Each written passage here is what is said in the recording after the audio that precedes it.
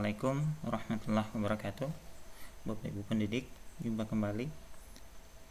Tutorial kali ini berisi panduan Cara pengisian aplikasi siap belajar Kemenak Terkait kesiapan madrasah Dalam pembelajaran tetap muka secara terbatas. Tampilan ini adalah tampilan beranda ketika admin madrasah telah login dengan menggunakan akun madrasah untuk akun emis ya tentunya. Nah di tampilan ini ada e, berapa daftar isian yang perlu diisi? Yang pertama kesiapan madrasah kesiapan guru dan kesiapan peserta didik. Bapak Ibu pendidik kita akan turun ke bawah dan akan melihat e, link yang akan dibagikan nanti oleh operator madrasahnya. Jadi setiap madrasah itu memiliki e, link yang berbeda karena di sini ada memasukkan NSM-nya jadi ini adalah NSM madrasah saya. Jadi Bapak Ibu ketika nanti login maka Bapak Ibu akan diberikan linknya. Silahkan minta linknya sama operator madrasah. Tentunya menu ini ada dua ya. Ini untuk mengcopy linknya dan ini adalah untuk mendownload hasil isian. Yang pertama ini adalah untuk uh, orang tua atau wali dari peserta didik dan ini adalah untuk pendidik dan tenaga pendidikan. Kita coba untuk mengcopy linknya. Dan kemudian kita pastekan di browser yang baru browser Chrome. Nah di tampilan ini sudah terlihat adalah menu atau daftar isian kesiapan pembelajaran tatap muka terbatas tahun pelajaran 2021-2022 tentunya ini wajib diisi oleh setiap pendidik dalam hal kesiapan pembelajaran tatap muka secara terbatas nanti di madrasah yang pertama untuk login ini tentunya kita akan login dengan identitas pendidik itu sendiri yaitu nomor induk kependudukan atau NIK. Ya, kalau sudah memasukkan NIK-nya, NIK adalah 16 digit, silakan Bapak Ibu klik tombol mulai.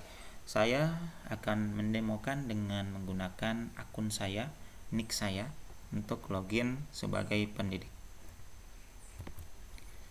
Baik Bapak Ibu, setelah Bapak Ibu memasukkan NIK-nya, silakan klik tombol mulai sebagai tahapan awal Bapak Ibu untuk mengisi uh, daftar isian kesiapan pembelajaran tetap muka terbatas.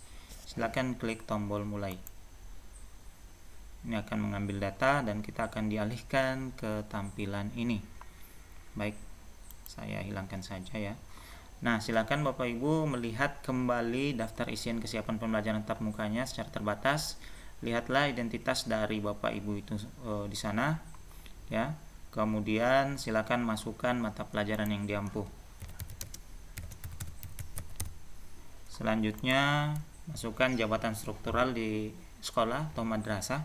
Contoh itu adalah wakil kepala sekolah atau wakil kepala madrasah kemudian kepala bidang kurikulum dan lain-lain. Nah ini Eh, sesuai dengan jabatan struktural yang Bapak Ibu ampu di satuan pendidikannya atau di tempat kerja. Oke, saya sebagai guru. Kemudian kita akan mengisi kesiapan pembelajaran tatap mukanya. Apakah pendidik sudah divaksin? Ya, saya sudah divaksin, maka saya centang ya. Kalau Bapak Ibu belum divaksin, silakan centang tidak. Oke, seperti ini.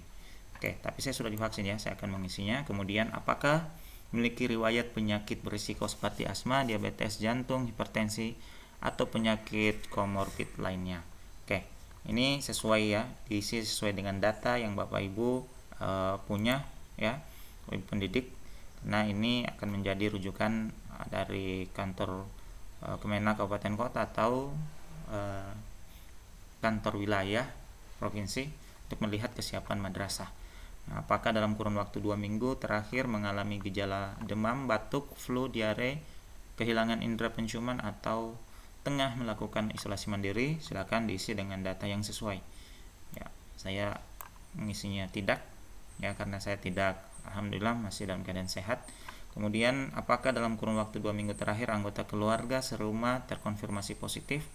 Alhamdulillah kami sehat-sehat walafiat. Kemudian moda transportasi yang digunakan menuju madrasah ini juga menjadi penting ya. Silakan jalan kaki atau menggunakan kendaraan pribadi saya akan mengisi ini karena saya menggunakan kendaraan pribadi saya sepeda motor. Selanjutnya memiliki masker ya dan cadangan minimal dua ya saya biasa membawa ya.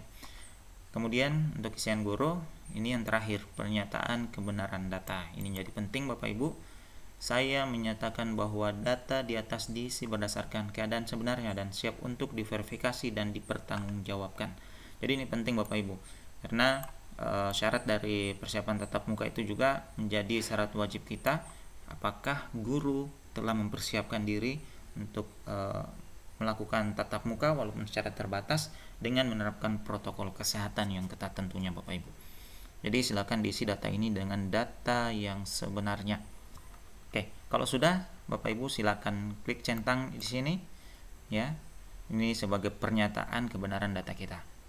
Hati-hati Bapak Ibu, ini juga akan diverifikasi nanti dan ini akan menjadi pertanggungjawaban Bapak Ibu. Silakan klik kirim jika Bapak Ibu telah menyatakan data ini benar. Saya klik kirim dan itu data kita akan terkirim. Tentunya data ini akan masuk di akun uh, admin madrasah atau akun operator. Oke daftar isian selesai ini menandakan bahwa kita telah mengisi kalau Bapak Ibu belum mengisi maka tidak akan tampil yang seperti ini daftar isian telah selesai. Terima kasih telah berpartisipasi dalam pengisian daftar isian kesiapan pembelajaran tatap muka. Secara terbatas sampai tahap ini Bapak Ibu sudah berhasil mengisi daftar isian dan isian sudah tersimpan. Ya. Jadi untuk tenaga pendidik ya guru dan tenaga pendidikan uh, hanya itu isian yang perlu diisi dan nanti akan direkap oleh admin uh, madrasahnya. Jadi tentunya di sini ya hasil isiannya. Kalau dilihat seperti ini ya belum menjawab masih terlihat ya progresnya. Kita reload karena saya sudah mengisi. Jadi Bapak Ibu kalau sudah sampai seperti ini Bapak Ibu silakan uh, keluar dari browsernya. Menandakan bahwa Bapak Ibu telah mengisi mengisi data. Nah, di sini sudah terbaca ada satu yang sudah mengisi datanya. Oke, demikian tutorialnya semoga bermanfaat. Assalamualaikum warahmatullahi wabarakatuh.